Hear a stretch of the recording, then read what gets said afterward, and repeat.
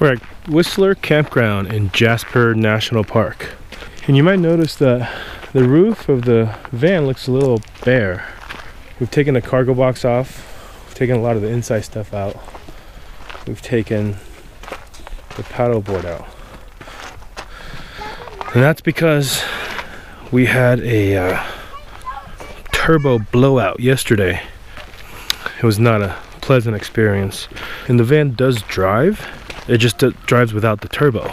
And if you step on the engine too hard, you can hear wind rushing through behind the dash. It gets to a certain pressure, it starts kind of whistling. It was a long, hard decision. I slept on it, figure out what we're gonna do. It's tough being in Canada, US citizen.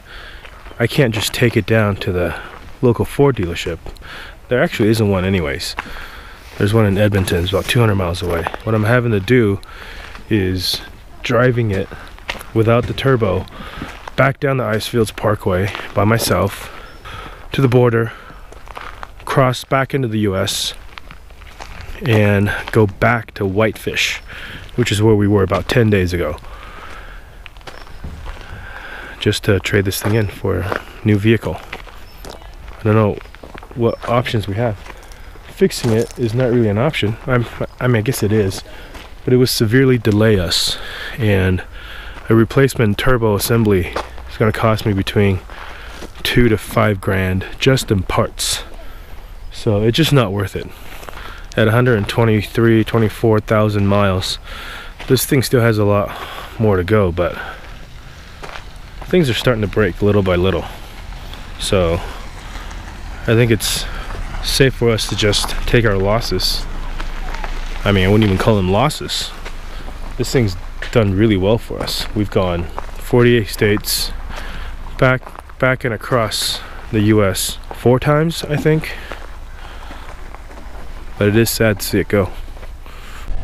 I just uh, safely went through uh, Jasper Icefields Parkway, so now I'm just made the turn to go to go towards uh, Kootenay National Park. Here we are. Here's the U.S. border. This is the border we came across about a little over a week ago. Hello, how are you? Okay, shut off. Where you coming from? Uh, outside the Edmonton area. What was going on up there? We're actually on our way to Alaska. Who's we? Me and my family, but they're not with me. Okay. Um, this car ran into some problems, so I'm driving it back down to either try to get it fixed What or happened? I think the turbo blew. Okay. So, So what do you do for work? I'm a web developer. Where's the family at? They're at a campground um, in Jasper. We came up there with a travel trailer, so I left them there. This thing is such bad shape that it can't tow anymore. Mhm. So that's why I'm trying to go down the Whitefish to look into possibly trading it in. Well, good luck. Thanks. Take care. All right, you too. I'm sleeping in the back of the van one last time.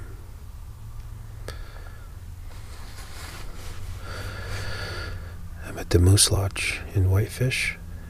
It's about 2 a.m. local time. Tomorrow morning, in about seven hours, I will be taking this into the dealership, hoping to get a decent amount on the trade and a new truck, hopefully. All right, it's eight o'clock on Sunday. Ready to go start the process. Well, the guy's not gonna be there yet, but spent last night at the Moose Lodge in Whitefish. Right there is where we stayed for about a week. A little over a week ago. No, two weeks ago.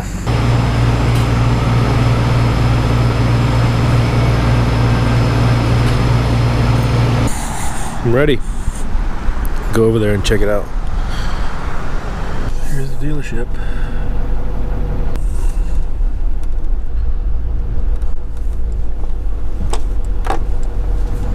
Here we go. Let's go look around.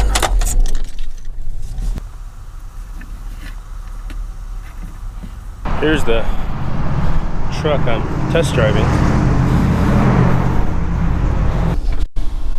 Well, now I'm curious. You're heading up to Alaska. What's up there? Alaska. Okay. Okay. This is There you what is go. this? This is a surface. Oh, that's it. That was the one. Congratulations. Yeah, now uh, Thank I have you. a print. You're welcome. Thank-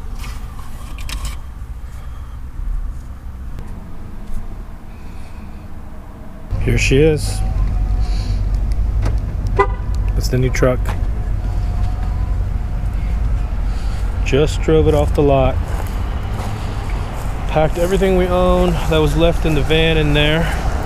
Even got some mud flaps front and back. Here's the stuff that didn't fit. So, Whitefish Ford VW. Sad to see the van go, but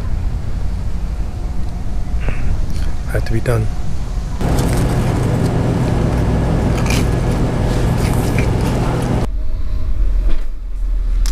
Hello. How are we doing today? Good. How are you? Good, thanks. Where's home for you? Uh, California.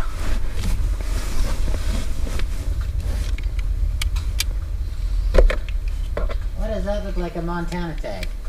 Well, let me tell you the story. I came up, I came through here about a little over a week ago. Uh, like not this past Friday, but the Friday before, with my family in a travel trailer in a different car. We were in there for about a week. That car blew the turbo, and it was gonna cost like five, six thousand dollars to fix. But it was good enough to drive back. So I drove back last night, did about 450 miles yesterday, crossed back in the Whitefish, traded that in for this just this morning. Okay. And that's why there's all this stuff in here that came Now from the other car. the. Now they're th- they've been there waiting for me. Okay. Is any of this stuff going to be staying in Canada? No, none of it. All right. Do you have anything for personal protection in any of this? No, not No here. Bear spray or anything like that? I mean, we did bring them in, but it's in the trailer. okay. Anybody ask you to bring anything up for them? No, nobody. So how long will you be in this time? Uh, we're actually on our way to Alaska, Okay. which is why we needed a reliable vehicle. Okay. All right. That's it. All right, thank you.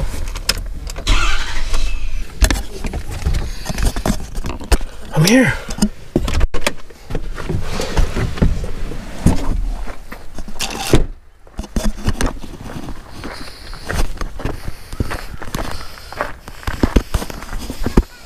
Hi. I'm in my pajamas. You been here all day? Yeah, of course. You got it so dirty already. I did. I miss you. Daddy! Hug Daddy. I miss you. Oh, Oh, both together. oh door! It's very, very wet. Want to go see the new car? Very, very yeah, wet. let me go get my shoes. I'm ready for it, ready for it. Stuff in the back too. Let's drive. Is it 250 or 150? 250.